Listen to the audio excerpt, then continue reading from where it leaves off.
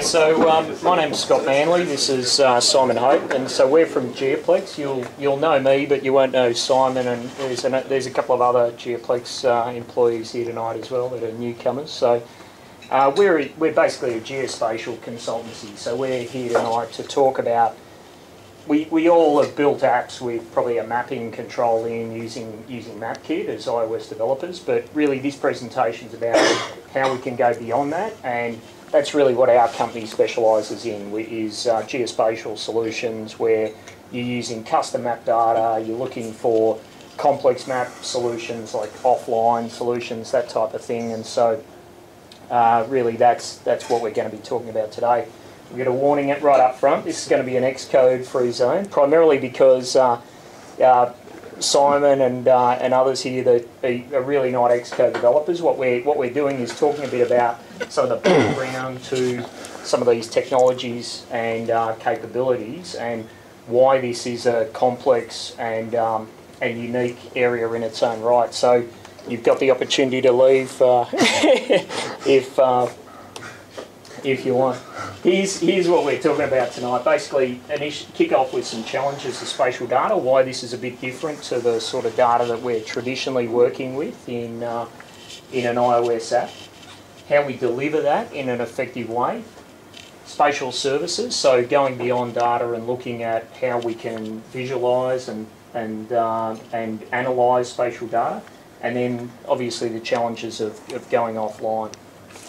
Thanks. Um, so, so like, I, I, I, total admission, right? I, I don't know anything about iOS. I could write it on the back of a postage stamp. Pretty much what I know. Um, I know a bit about, like, hey. Can you spell it? Nah, nah. Um, but I know something about my dad's toolbox, right? And I don't know if your dad's like my dad, right? But when I go to his toolbox, it's just grim in there, right? and there's like loads of you know uh, you know there's a nut and a bolt and a, nut and a bolt won't go together there's a bit of a washer and that that to me is like my world right so when I get given like spatial data to, to do a job I get given like a rusty old bolt something over here and something over there and you've got to try and sort of munch it all together so spatial data is a bit like my dad's toolbox it comes in all these different formats it comes from different organizations it comes from different people who use different sort of vendor software and you kind of have to get it in to the same format. The other problem with it is, is um, it's the world's not one system, right? You, you, I, know, like you guys might be like mapping stuff and you've got like an X and a Y column, right? But my world, unfortunately, is not as simple as that X and the Y column. This is a, um, a, a map or projection that was developed by Book, Buckminster Fuller um, it's called the Dymaxion projection. Um, I guess I might, I guess I should explain a little bit what, what a projection is, right? Like the, the, the world's round, and when you want to put it on a flat surface, you've got to peel the orange and spread the orange out. Um, and when you do that, things start getting fucked up. um, um, now, I, I, I, like, like I like Buckminster Fuller's map, right? it's a great map. It's the sort of thing I, you know, I would like on my wall at home. I really don't understand what was going through Buckminster Fuller's head when he created this projection, but this is a projection, and the world's full of these different projections. And when we get data from different organisations, especially like um, in a country like Australia, then we're often dealing with organisations that are supplying data not in lat long, but in different local projections. And we have to move that data between projections to get it into the same format. And like in the, in the, in the consumer world, you don't really have that problem, but in some of the worlds that we work in, we do. Um, and if you don't get it right, you can be rooted, right? So if you're going to do like, you know, measurement in an emergency context or in a defense context, then if you don't get that projection stuff right, you can really sort of end up in sort of in front of committees in, in, in various places like Canberra. So, uh, so we've got a bag of bits and pieces and projections, and it's, it's a bit dirty. Um, so we've got this world of spatial data, and, and it, then, then we have this problem of like, how do we deliver it? Like, you know, how do we get it across the web? Um, and like prior to 2005, does anyone have a fixie? Come on, uh, uh, there's fucking not only one fixie owner in this this room. like Right, right, okay. uh, yeah, right, all right. So, like before 2005, we delivered maps online in an a la carte fashion, right? So you'd make a request to a GIS server or a map server, and you'd say, "I want a map. I want it to have these layers in it, um, and I want this layer to be pink and this layer to be green." And you'd end up with this sort of result, right? You get a really, really ugly map, and it was very, very slow to produce, right? So it's like, you know, give me a map for this bounding box, and then give me it again for this bounding box, and it was horrific. So it's, it, but it was kind of a la carte, you know, you could just do maps to order. And then 2005, we got the introduction of the MacMap, right? So thanks to Google, um, you know, the world became one universal bland map, right? And we have a lot to thank, th- thank them for, you know, like the ubiquity of mapping now is all thanks to what Google did. Um, and, and everyone sort of got that experience with, you know, tiles, 256 by 256 tiles, very, very slippy, you know, seamless process, and it was, you know, it was a radical sort of disruptive change to the industry. Now, I guess today we've got this, in a way, we've got a best of both worlds. So um, we can order this tiled map quickly, um, but we can sort of change it as well, which is quite cool. So on the left-hand side is a, is a company from the UK called CloudMade. Um, and on the right-hand side is a company from the US called Mapbox. Uh, they both both provide tiles, but you can change those tiles. You can order them, in, or, or, you can you can. I mean, this this one on the left-hand side is um, called Midnight Marauder. I quite like that. Um, so it's quite good for if you want to show, like you want to have a map of salubrious sort of um, venues for the uh, for the evening. Then I suggest I suggest the Midnight Marauder. If you, you know, you want to get like, you know, deep down and dirty in King Street, then I suggest this one on the. Uh... but like the point is, right? And the interesting thing about these is they're, they're, they're produced from OSM or OpenStreetMap. So, so they're basically using this open data format. Um, they've basically tiled it, and you can tailor the tiles on demand. So you've got this kind of the best of both worlds. We've got tiles, we can deliver the tiles very, very quickly, and we can change the tiles. So we've got a bit of the a la carte world. And what both of these things do is provide you with a context. They provide you with something that then you can put stuff on top of. Righto. So, yeah, as Simon says, we've got we've got this context, the base map that we um, that we're displaying on the screen, but it's not of much use to an end user. And so, as iOS developers, what we generally do is is drop maps on here. And here's a, here's uh, Matt Tui's app, the Breakfast Out. I don't know. Matt's is, is Matt here tonight? I don't know. He demoed it. Yeah, right. So he, he demoed this app uh, a few months back um, where I'm standing here, and I think this is a really good example of, of um, points points on a map, uh, basically showing he's he's gone to the trouble of symbolising these to relate those to the to the details below, and so it's a fantastic um, representation of, of um, points. So what if we want to go beyond that though, and this is the world that, that Simon and I are often living in with the, the types of clients that we're working with, and um, and you, so what about lines and polygons? And you might sort of say, well, we're, we're only ever going to deal with points, but the fact is that there's actually um, with uh, the Victorian government recently, the, the, image on the left there, the um, the data.gov au is, is basically the Victorian government's released a lot of their spatial data um, available for for use by anybody. Um, and so one of the one of the common uses of this might be, for example, the fact that on the Apple Maps, of course, uh, famously they've removed property boundaries. Um, this sort of um, these, these, this information is now available um, under the data.gov au website, so you can download this information. And if you know what you're doing, you can process this and display this on your on your app as an overlay. Um, so we've we've traditionally worked with a range of formats for things like this, KML, um, GeoJSON you might have heard of as well, and um, there's some interesting developments in this in this space. The image on the right is actually hard to read, but it's it's a relatively new library called TopoJSON. Uh, which is dealing with some of the issues around uh, the, the volume of, of data that um, that these formats can, can result in. So just staying on like the idea of delivering spatial data. So generally, spatial data is quite big, um, and when you're sending it over the wire, and you're sending quite a bit of it and you're dealing with lines and you're dealing with polygons, then you've got to try and try and deal with the idea of the, or the problem of size. And TopoJSON's a great library for doing it. it. It's not very, it doesn't show very well, but this is this is it. it oh, you can't sort of see the lines. So topology uh, from a from a GIS, it's a very very old school GIS concept of the way of modelling data, and you model data based upon shared arcs.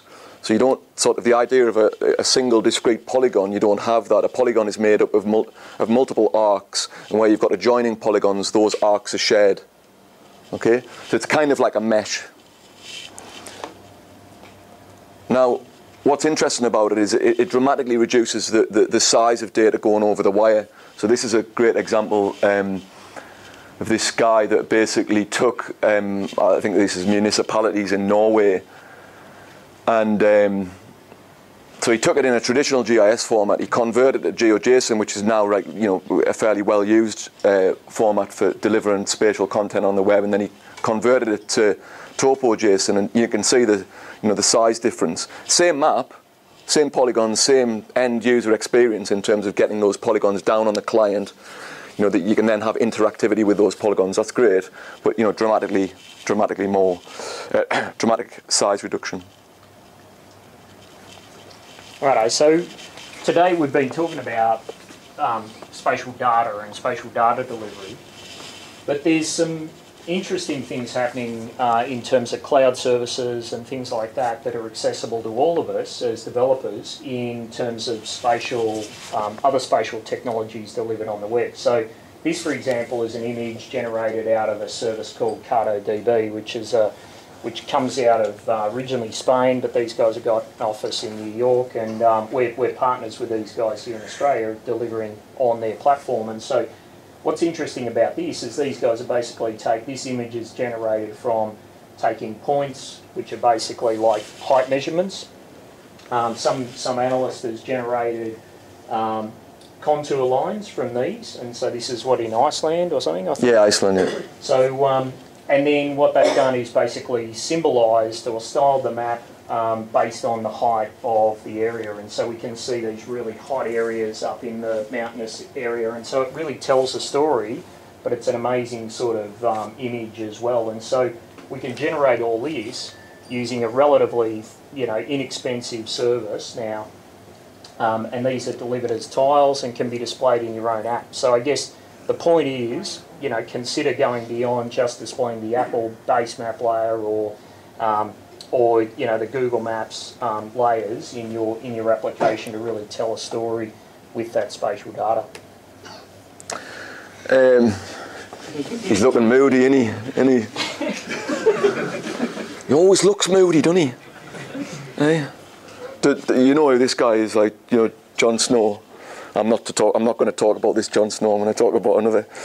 Like you know, like right. So it's because of spatial data. You know, you think about it as table, like you know, x and y column, and you think about relationships, your primary key, foreign key. But of course, the power of spatial data is you're making those relationships not on primary key, foreign key, but about you know, does this thing touch this thing? Am I within that thing? How close am I to that thing? And it all comes down to Jon Snow in a way, but not that Jon Snow.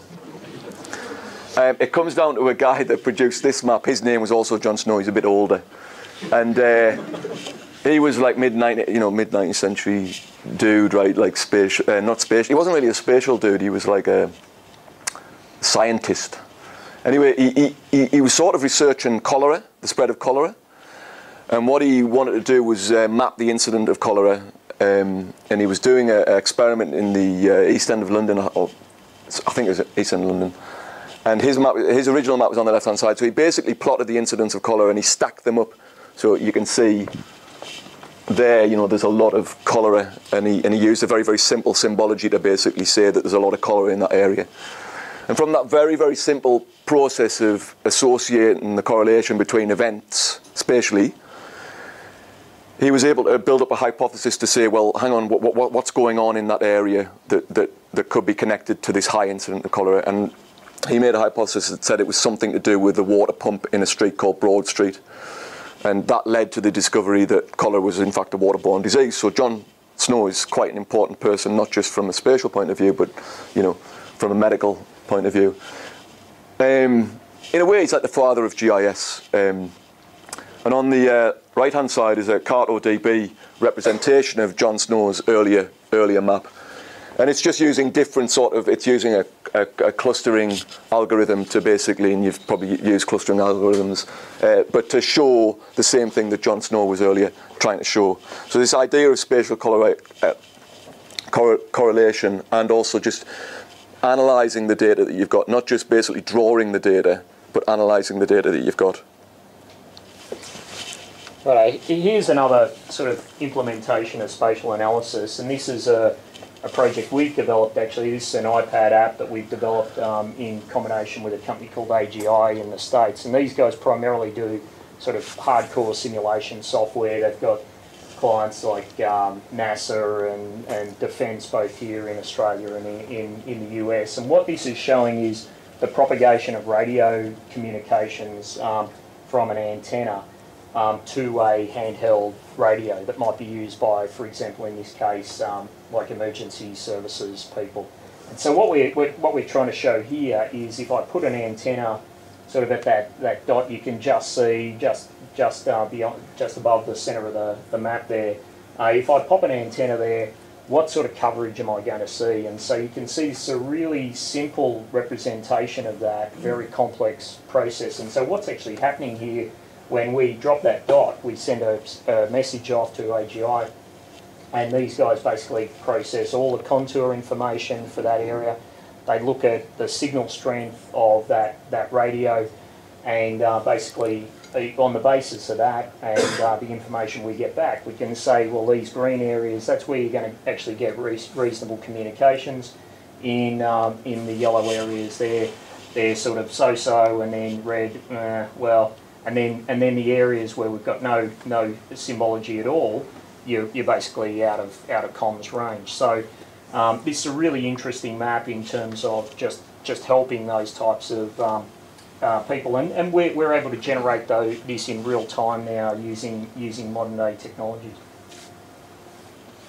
Um, just just finally on this sort of idea of you know, analysing and visualising data. This is another great example. It was developed by GE and iPad app. I don't know if you've seen it. it was, this is a couple of years old. Stats of the Union basically took took a whole load of statistics data from the US, and whilst they did the an analysis offline, they basically shipped the results of the analysis down to like, or, or shipped it with the app. Um, and it's a great example of superb design and superb cartography to basically tell tell a story really simply. Um, you know, so it's not complex cartography. We've just got two two simple colours telling us that where the distribution of um, a population cohort is in the in the US. It's a really really nice piece piece of design, but it's based upon spatial analysis that's, that's happened offline. Right. So you and you know, what about when we're not on the web? And you know, hands up, who's been asked by a client? Well, you know, what what if I'm out of you know comms comms range or whatever? You know, like it's a very common question for for people to have to deal with in mobile development, and it's and it's a hard nut to crack for for spatial as well. And so. Um, there's a couple of solutions um, emerging in this particular area, and there's a range of formats um, that, that you can consider. Um, one that's gained quite a bit of traction in recent times is a, is a format called MB Tiles, and this is from the Mapbox um, company that, that Simon mentioned earlier. So these guys basically take a SQLite database, take all the tiles and save, save those tiles into a SQLite database using a, an open um, domain format. This format can be read and written to via a range of open spatial data tools. And uh, these guys also provide their own extension to a, an iOS um, SDK called uh, RouteMe. So they, these guys basically are built on top of RouteMe to provide some additional capabilities. Um, and so you can download Mapbox um, SDK as a, as a separate runtime and, and achieve this sort of offline capability um, using tiles, and, and that gives you basically the, back, the base map offline. Here's an example of the use of the Mapbox SDK. In this example, it's offline, Um, the tiles here have been cut custom. So basically use different piece of software to create from OpenStreetMap a custom set of tiles, package those tiles in MB tiles format and, and, and ship it to the device.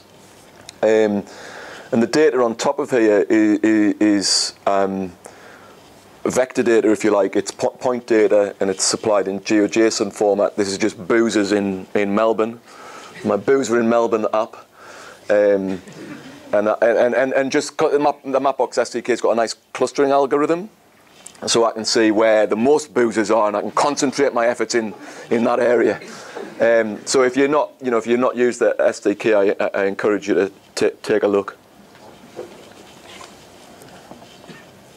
Right, so that's point data that Simon's shown, but we, like I said earlier, we're dealing a lot um, in our in our area with line and, and polygon type data as well. And so here's a here's another app that we built, and um, you know, uh, call out to the um, to the domestic cat guys that helped us with this this app as well. And so this is an app we built for one of the NBN contractors, and so um, what we're showing here is actually um, some offline spatial data. So you can see the base map faintly in the background there, showing sort of the roads and uh, property boundaries. But then on top of that, we're drawing these line, um, these these lines, and uh, and that's actually routes in the in the NBN. So these are basically trenches where they'll lay, where they've got um, ducts which which have cables in, and so there's a number of areas the, these this contractor are working in where there's no network coverage, and so they, they need this information offline. Now, um, one thing to say here is that in, the, in this particular case, all they needed to do was select these lines, and, uh, and basically they wanted to associate um, with some a piece of information with a, with a feature shown on the map, so they want to be able to tap on these. One of the interesting challenges going forward for this space is how do we take this information in and make it editable as well. And there's some simple ways of doing it. Obviously, with points, it's relatively straightforward. Um, but there's a there's a complex problem not just around sort of um, um, editing and, and, and processing these these features and pushing these back back to a, a, a, server, but also interacting with these things. If you imagine, you know, providing a, a touch-based interface for interacting with these things, it's a relatively interesting and complex sort of UI problem, and so that's something we're, we're sort of working through, and um, yeah, happy to hear uh, hear um, good ideas on if um, if people have got um, if people have got them. So that's basically all we wanted to cover today. So please follow us on Twitter, and if you if you're interested in this area and you've got interesting use cases for this sort of space, this is the area we're playing in, and this was really meant to be an introduction to this sort of domain and the sort of things that are possible. So please follow us on Twitter if you're not already and send any uh, questions you might have to this. But um, any questions? Brilliant. Take that as a... Oh, amen, amen. so it's, it's, it's semi-related. So you guys are doing geospatial stuff on projections of the actual world. How does that how does that kind of cartography relate to doing logical maps? That people would read and look at and understand it, say a, a network, of a train network or something that doesn't actually oh, right, yeah. exist in that format. So like the but tube map, the, the, the, tube map is the, yeah. classic example, right? Is it a similar field, or is that a sort of completely different thing? Well, it's, inter- it's, it's, it's interesting in, in, in the use case that like Scott was talking about with the NBN, for example. There's a point where the logical, the, the sort of the view of the world, the natural view of the world becomes problematic and they want to then look at this sort of you know deeper terrain view of the world and explore things that you can't physically get to. So there is a sort of crossover point. Um, I, I, don't think in, in, in our world we're, we're, dealing with the uh, uh, we haven't done any sort of design pieces to abstract you know classical mapping to that, that, that, that tube world which is you know is a really interesting area. But um, I've seen I've seen certain cases where it's being done yeah. some of those some of those old maps of particular big infrastructure things. Yeah. They're quite famous. Yeah. Because you know someone's worked out a nice way to display. Yeah, exactly. yeah, definitely, yeah. definitely. it's interesting now how easy it is to display anything on the world rather yeah. than just a small section. I mean, it, like a, a, lot of the. It, I think a lot of the challenges we're seeing is things where you've got a higher volume of data. Mm. and you're trying to sort of get that volume of data over on a classical map. So using techniques like like clustering, uh, you've seen clustering, and, and also things like hex binning, where you basically create like hexagonal boxes, which then basically uh, you have an associated uh, volume of data and a classification like a color, which is applied to this hexagonal thing, and it gives a it gives a very very clear concept of density. So if you've got a high volume of data, how do you get across that idea of density? I mean, even even things like um, in a way, if you look at like you know things like graph databases and, and, and exploring those, you know, m- that massive amount of data, are essentially coming up with maps as a way to visualize that huge amount of data and look at things in that manner. It's a really interesting area, you know. It's Sorry, I have a question. Like, uh, we have an app where uh, it's for chauffeurs to go uh, to plot out routes, like to place A to place B, Yeah. and then we want to find out whether they have crossed a zone. Mhm. Uh, it's really hard with Google Maps API and stuff like that, where we can't really actually say whether they whether the route actually covered a zone or not. Mhm. Is it something that's possible with uh, Geoplex uh, SDK? I mean, we don't, we don't have an SDK, but, but, but you know, it's a very, very simple use case in a, in a GIS context to understand. It's a classical spatial relationship, you know. Have I, in, do I intersect with you? Um, there's various options to, to solve that problem. It, it's not, Talking about is geofencing supported by iOS SDK, okay, supports that? Really? No, it's not uh, like, for example, if I do have a Google route, can I find whether it's been zoned, uh, if I have a zone, geospatial zone, can I find uh, if, the, if the route has crossed a zone or not? Yeah. We'll have a, you- we'll have a check during Yeah. the break if you want. Yeah. don't ask me. Oh, yeah. Yeah, sorry. Just, wondering where it's going with, um, you talk about tiles and are they image tiles or is it going towards vector? Yeah, like, or- well, Mapbox have developed a vector tile format based on Protobuf. Um, and so their, their most recent implementation of TileMill, which is essentially a, a, a, um, an application that allows you to take the raw spatial data and do the carto- cartography piece and then cut the tiles using a library called Mapnik they've basically decided that these old, in a way, they've decided that these old school spatial data formats are crap. So what they do is they take those old school formats, convert it to their new vector tile format, and then they're in control of the renderer and the format. So they make the experience of basically doing the render and the tile cutting much quicker. So I think essentially it is it, it is going that way. Um, Is that rendering on device the, in the vector format? Like, I mean, you know, Apple Maps and Google Maps now, you know, Yeah, totally yeah.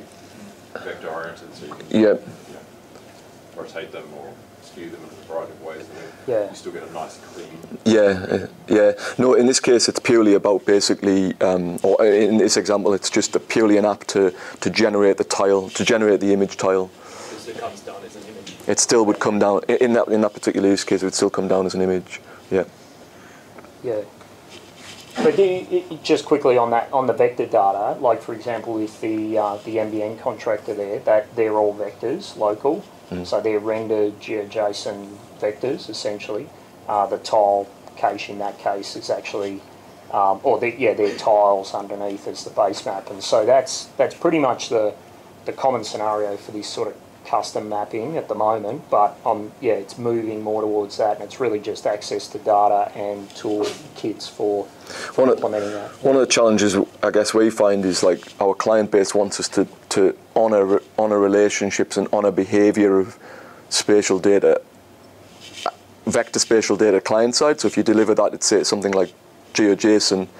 Yes, you can display it vector, but when you when you move a polygon, the other polygons don't move with it. Or when you move, an, if you can imagine a network is topologically connected, when you move that node, you know, all the cables that are connected to that node are meant to move with it. And some of those are the, the sort of challenges that we're finding is is doing the things that are fairly straightforward in the classical GIS world down on a down on a device.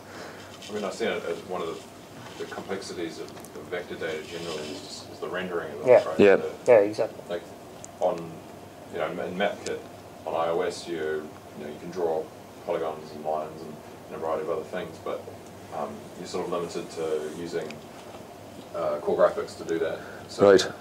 It's all happening say on the CPU, whereas in a, if you're getting really complicated map data, um, you really want that to be more like, really like a game, like you, you want that to be sending vectors to the GPU to say, hey, here's some polygons and I'm drawing um, those on the GPU rather than on the CPU, and then how do you then tile that? Like, well, how do you slice that information? It's like it's like taking a really complicated like CAT scan or something and then chopping it up into small pieces so that you can actually uh, render it efficiently. Yeah, exactly. Yeah, just displaying the, the features that should be in that in that box. Yeah, yeah. Yeah, exactly. No, they, they, Well, exactly the problem. We, that's the, exactly the problems. We're we're loading a lot into the a- asking the asking the SDK to render a lot unnecessarily. Essentially, to oh. it's a pain in the ass. Chris, Ed? Taking that question one dimension further, Yeah. a lot of the, all the consumer mapping guys are doing 3D projections of, of mapping now with Yeah. buildings as well as topography. Is that the sort of data that you guys have to deal with yet? Yeah, we're not we're not seeing a lot. I mean, there's certainly a lot of 3D data. The- These, you know, you go to the vendor presentations and whatever in, in you know the hardcore vendors in this sort of space. There there is always a 3D demo in there, and you know, obviously they need to be sort of competing with Google and Apple in that sort of space. But there's not a lot of openness to that data at the moment, and it's expensive. My understanding is it's is expensive to collect. Um, so and and maintain, you know, because it's it's one thing to fly it once, for example, and, and capture that, but then um, and and I you know I think this is why you know Apple's data to date has has been a bit you know um, iffy. Is is this is spatial data is is hard to obtain at a you know cost effective um, Yeah. yeah, in a cost-effective manner. But um, but it's certainly, I mean, it's yeah, it's certainly happening, and um, yeah, the the more open the data is, the more you know people like yourself, for example, can can start to do this. And uh, but yeah, I'd encourage people to sort of not um, to to you know think about what's what could be achieved in this area as well. And You yeah, mentioned that the like state government, Yeah. um, government's opening up all of their data. Yeah. Um, is that happening kind of broadly? Like I was uh, reminded that I saw something on like Catalyst or something on ABC Yeah. where like CSIRO have been mapping the seabed um, around Australia, and it's I mean they've a fraction of what is the actual seabed, but you know that, Yeah. that information is obviously of great use to scientists. Um, but is that like common that you know, state or government or national government data is just becoming put up put up on the web for free access? yeah, yeah, go I think it's it's unfortunately it's variable, and um, I think uh, in, in some ways, like like the Guardian basically led a campaign in the UK to open up the some of the data that Ordnance Survey had been hanging on under the premise that Ordnance Survey, which, which is the national mapping agency in the in the UK, was sort of taxpayer funded, and this was you know basically family silver that we couldn't get access to. So I think that's changed the game a little bit, and the Ordnance Survey have come on board and they've done some interesting projects with linked data and some other interesting initiatives to make their gold available to all. So I think on the back of that, we, we're seeing this trend of, uh, but in Australia, for example, you know, there's certain states that aren't as proactive as So, Queen, Others to, to my knowledge, Queensland and Victoria are the only states where they've they've actually got a proper initiative going on. But there's Matty, I, I, can you do you know? South Australia's getting close. Yeah. Yeah. Um, Not sure about the others, but. Yeah. It, it tends to really depend on the government data set that you're after, Mm. not just spatial data, but all open government data. A lot of the time it comes down to the department is unwilling Mm. to release that data or unable to put in the effort necessary to clean that data up for Mm. public consumption. The other big one's Geoscience Australia, who are federal. They've Yeah. released all their stuff now, so. uh, Even with the, than they used to. The US has had it for a long time, has public data public. Yeah, you bang on like i- i- even if you go on like that, that, that site that Scott showed, the, the variety of like quality Yeah. and what you actually get is Yeah, I've made I've presented it like you just go in there, you know, type in property boundaries and yeah. I mean, you, you probably get you, you probably get that in a half decent format, but you know, like I, I, they've they've got you've, got- they've got entries registered on that site. I think one of them is for um, train stations, right? You know, like train stations in Victoria or something like that. And it just redirects to like a, a, a PTV page, which is about you know customer feedback. There's actually no data available at all, just a redirection to some dodgy PTV page. You know, it's shithouse. So. So So I think it's a big, On the flip side of that, people like Big Bros have released the whole, like you say, the whole goal. yeah, yeah, yeah. So it's very variable. Wrap it up there. Yep. Yep. Cool, excellent, thanks, guys.